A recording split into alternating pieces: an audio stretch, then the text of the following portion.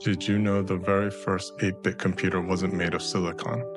It was made of wood, string, and punch cards, and it was built in 1804, over 200 years before your laptop.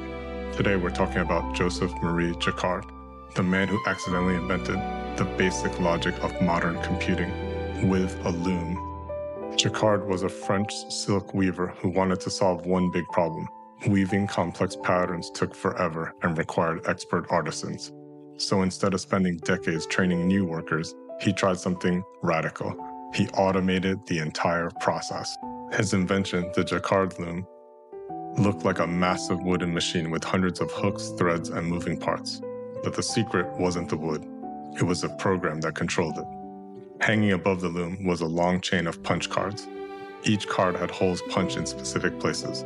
And as the machine ran, metal rods would push through some holes and get blocked by others. Sound familiar?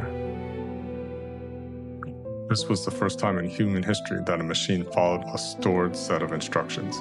Every hole was basically a bit. Hole equals one, no hole equals zero. And the sequence of holes told the loom exactly how to move each thread. This wasn't just weaving, it was programming. Jacquard didn't know it, but he'd invented the foundation of modern software. Those punch cards, they inspired Charles Babbage's analytical engine in the 1830s, considered the first theoretical computer. And in the 1900s, they were used by IBM to run early computers. In fact, some computer systems were still using punch cards until the 1980s, all because a French weaver wanted to automate fabric patterns.